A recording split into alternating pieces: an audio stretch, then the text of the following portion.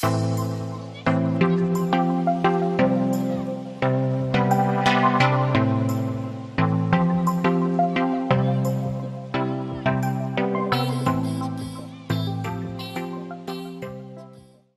Monday, July 1st, obviously is Canada Day. It's an exciting time for uh, people in our community to go out and, and celebrate, uh, you know, this, this day of Canada's national birthday.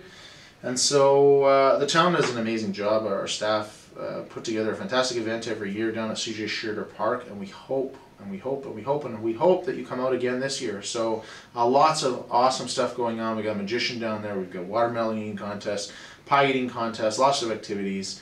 Uh, really hope you come down. CJ Shearter Park, 12 to 2, uh, July 1st. I uh, just want to do a quick shout out to our staff. Thank you very much for putting this together and the volunteers that help out. And uh, just hopefully it brings out a great crowd. So happy Canada Day. We'll see you there.